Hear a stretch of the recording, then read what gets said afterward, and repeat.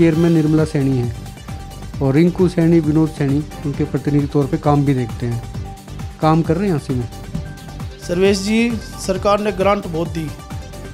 बहुत ग्रांट दी।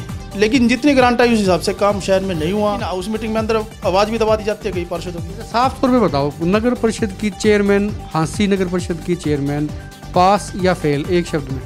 चेयरमैन बनकर सारी हासी का विकास करना चाहता हूँ। मैं रिकॉर्ड तोड़ विकास हासी शहर में भी दिखाना चाहता हूँ। टिकट मिलती है तो बहुत बढ़िया है। नहीं लोगों की जैसी आशा होगी वैसे काम करेंगे। ये कोई स्टंट है कुत्ते उठा के पॉपुलरिटी हासिल करने का? या जज्बा है? क्या है? कोई स्टंट नहीं है। काम है दायित्व है बनता है कर जाते हैं सेवा।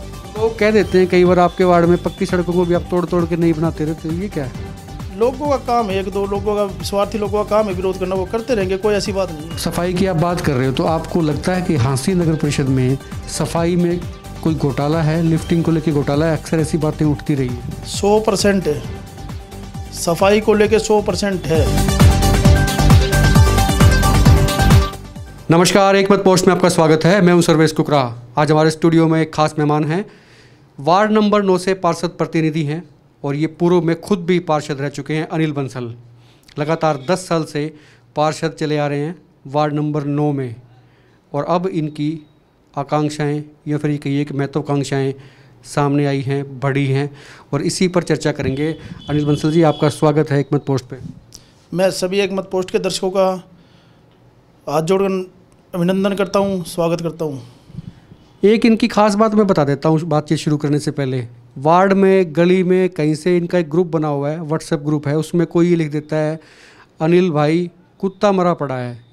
ये तीन मिनट नहीं लगाते, खुद जाते हैं। अगर कोई कर्मचारी या जिसको ठेका मिला हुआ है, इस तरह के मृत पशु उठाने का वो नहीं मिलता है तो ये खुद जाएँगे, कुत्ता उठाएँगे, थैले में डालेंगे, ले जाएँगे। इनको किसी प्रकार की हिच नहीं है। मैं ये पूछ रहा था कि जो ये कुत्ते उठा के आप चल पड़ते हो, किसी का फ़ोन आया, किसी का व्हाट्सएप आ गया, अनिल भाई, कुत्ता मरा पड़ा है, आप खुद जाते हो, मोटरसाइकिल स्टार्ट करते हो, कुत्ता उठाया और उसको पार्क किया, साफ़ किया। तो मैं वही पूछ रहा हूँ कि लोग जानना चाहते हैं कि ये कोई स्टंट है या भावना है काम करने की, क्या है? कोई स्टंट नहीं है, एक मन के अंदर यही है, भाई लोगों की मैं सेवा करूँ, जो मैं तत्पर लगा रहता हूँ, किसी आदमी को परेशानी ना हो, मैं उनकी सेवा में लगा रहता हूँ, चाहे किसी टाइम भी फ़ोन आ जाए, उनकी सेवा के लिए तत्पर आ जाए मुझे कहीं भी कुत्ता मरा पड़ा हो, चाहे कुछ भी हो, मैंने खुद एक सफ़ाई कर्मचारी रखा हुआ है। अगर वो आ जाए तो ठीक है, नहीं मैं खुद उठा के गिर जाता हूँ, कोई ऐसी बात नहीं है, कोई इचक नहीं है। ये फैसिलिटी जो है, अपने वार्ड के लिए आपने सीमित रखी हुई है या शहर में कहीं से भी कोई कॉल आती है तो पहुँच जाते हैं? शहर में कहीं से भी कॉल आ जाओ, कोई परेशानी नहीं है। काम है, दायित्व है, बनता है कर जाते हैं सेवा। अच्छा एक और विशेष बात है कि पिछली बार जब इनकी पत्नी चुनी गई, अनीता बंसल, पार्षद तो निर्विरोध चुनी गई थी। इनके मुकाबले में किसी ने नॉमिनेशन दाखिल तक नहीं किया था। ये अपने आप में एक बड़ी बात है। जब आदमी पाँच साल तक पार्षद रह लेता है तो उसकी खिलाफत भी आमतौर पर हो जाया करती हैं। लेकिन इनका वार्ड ऐसा था, और एक वार्ड और भी था, हँसी में। ये दो वार्ड ऐसे थे जिसमें निर्विरोध चुने गए थे पार्षद। शायद ये काम कोई सलाम ऐसा हो सकता है, मेरा ये मानना है। दूसरी बात ये थी, अब क्या है? मन में लोग कह रहे हैं कि चेयरमैन साहब चेयरमैन साहब आपको कहना शुरू कर दिया। क्या चाहते हो? सर्वेश जी, मैं चेयरमैन बनकर सारी हासी का विकास करना चाहता हूँ और इस हासी के विकास के अंदर जो चार चाँद लगाना चाहता हूँ, आप मेरे वार्ड में जाके देख सकते हो कितना रिकॉर्ड तोड़ विकास हुआ है। वो मैं रिकॉर्ड तोड़ विकास आशी शहर में भी दिखाना चाहता हूँ। तो कोई खाका तैयार किया है? चेयरमैन कैसे बनोगे? कोई मतलब आके माड़ा तो पहनाएगा नहीं चुनाव लड़ना पड़ेगा। तैयारियाँ हैं? चेयरमैन पब्लिक ने बनाना है।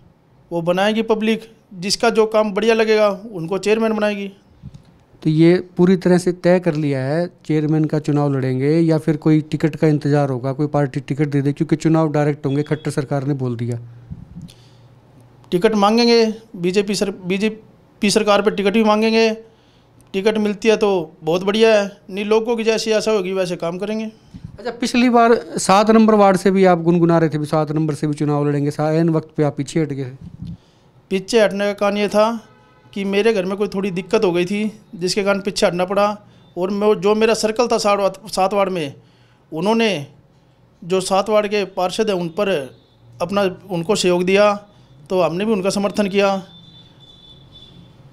नहीं तो आप क्या कहना चाहते हो कि आपके समर्थन से चुनाव जीती थी श्री शर्मा? हाँ ज़रूर कहेंगे। हमने सहयोग करा तभी जीतते हैं। अच्छा।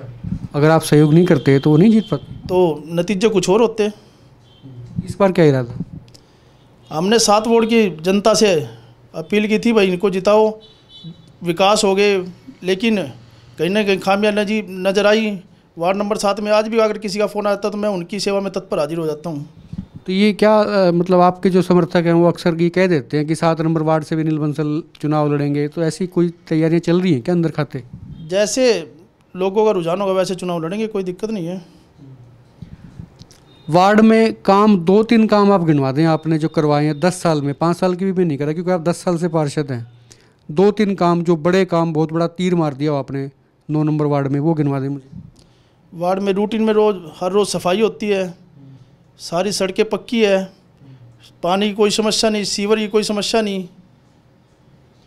वो लोग कह देते हैं कई बार आपके वार्ड में पक्की सड़कों को भी आप तोड़ तोड़ के नहीं बनाते रहते ये क्या है? लोगों का काम है एक दो लोगों का स्वार्थी लोगों का काम है विरोध करना वो करते रहेंगे कोई ऐसी बात नहीं है। मतलब आपका काम बदस्तूर जारी रहेगा कोई फ़र्क नहीं पड़ेगा? कोई फ़र्क नहीं पड़ता। आपसे मैं एक और हाथ जोड़े निवेदन करता हूँ। आप मेरे वार्ड में जाके विज़िट ज़रूर करें। भाई मैंने काम किया नहीं किया वो लोग बता देंगे। एक दो लोगों से कहने से कुछ नहीं होता। वो लोग बता देंगे वार्ड के लोग नहीं बिल्कुल जनता तो आईना दिखा देती। दूसरी बात सदर बाज़ार में नया रोड बन रहा है। उसका भी श्रेय लोग आपको दे रहे हैं कि भी आपने काफ़ी प्रयास किए। काफ़ी सालों से तारकुल की सड़क थी टूटी हुई थी। अब पहली बार सीमेंटेड सड़क बन रही है।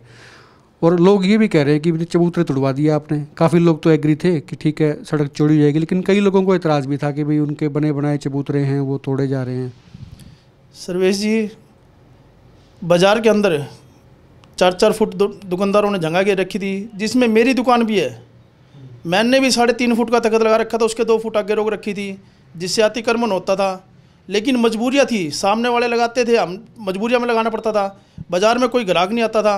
अब बाज़ार खुला होगा तो ग्राहकदारी बढ़ेगी, पचास परसेंट काम भी बढ़ेगा। और मैं सभी सदर बाज़ार वालों को आश्वासन देता हूँ आपके चैनल के माध्यम से, भाई, आप देखना बाज़ार बनने के बाद यहाँ कितना काम बढ़ेगा? बाज़ार में काम उनके है दुकानें उनकी है मेरी भी है। आप जब बाज़ार बन जाएगा तो मैं आपको विश्वास दिलाता हूँ पहले से ज़्यादा काम होगा इस बाज़ार में। अच्छा पिछले दिनों आपके एक वार्ड के हैं वो आरटीआई लगाते रहते हैं जय भगवान। उन्होंने भी एक साक्षात्कार में से बोल दिया था कि आपकी पत्नी अनीता बंसल को ये नहीं पता बरसी गेट कहाँ है। क्या कहना चाहेंगे? उस उनका काम है मेरा विरोध करना करते रहेंगे।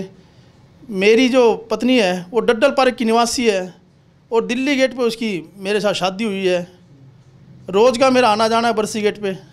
उनका आना जाना है तो उसका काम ही विरोध करना करते रहेंगे। कोई ऐसी बात नहीं है, कोई फ़र्क नहीं पड़ता इससे। ये बात तो सही है, जो जिसकी पैदाइशी हाँसी में हो और उसको कोई ये कह दे कि बरसी गेट का नहीं मालूम तो वाकई जचने वाली बात नहीं है। दूसरी बात ये है कि चेयरमैन निर्मला सैनी है और रिंकू सैनी, विनोद सैनी उनके प्रतिनिधि तौर पर काम भी देखते हैं। काम कर रहे हैं हाँसी में? सर्वेश जी सरकार ने ग्रांट बहुत दी बहुत ग्रांट दी लेकिन जितनी ग्रांट आई उस हिसाब से काम शहर में नहीं हुआ। अब हमारे आदरणीय विधायक विनोद बिहाड़ा जी का ग्रांट कहाँ चलेगी फिर वो? वो तो साहब कमेटी को पता है नगर परिषद प्रधान को पता है।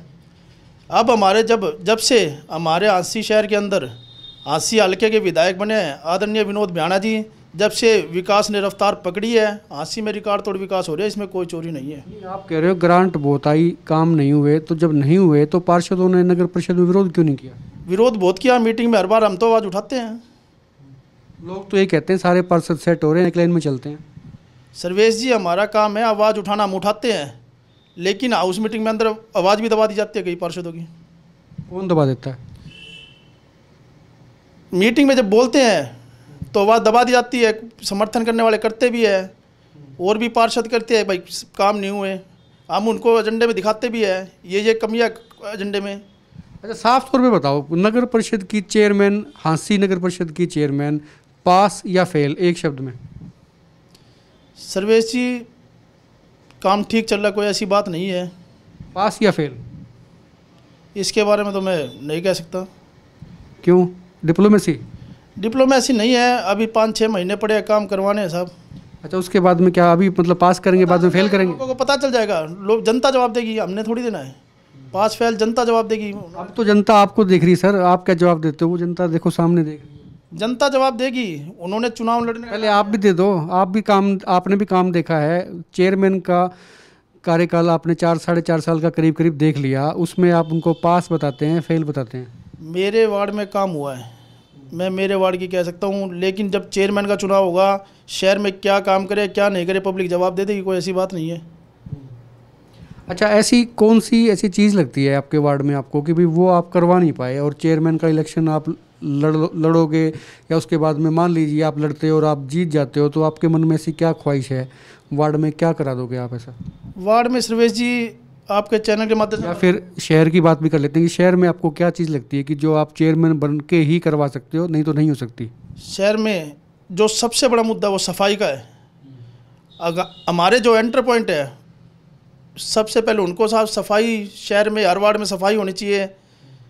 जो पहले से तो सुधार है लेकिन पूरी पूरी ज़ोर सफ़ाई नहीं है वो शहर के अंदर। सफ़ाई की आप बात कर रहे हो तो आपको लगता है कि हांसी नगर परिषद में सफ़ाई में कोई घोटाला है? लिफ्टिंग को लेकर घोटाला है? अक्सर ऐसी बातें उठती रही हैं। सौ परसेंट है। सफ़ाई को लेके सौ परसेंट है। कौन कर रहा है घोटाला? कोई साठ गाठ से ही होगा। आप पिछली बार जो हमारी नगर परिषद में मीटिंग हुई थी उसका सैंतीस नंबर कॉलम पे एक सरसा की सोसाइटी ने ठेका लिया हुआ है उससे आपको अंदाज़ा हो जाएगा। आप पढ़ो उसको सैंतीस नंबर।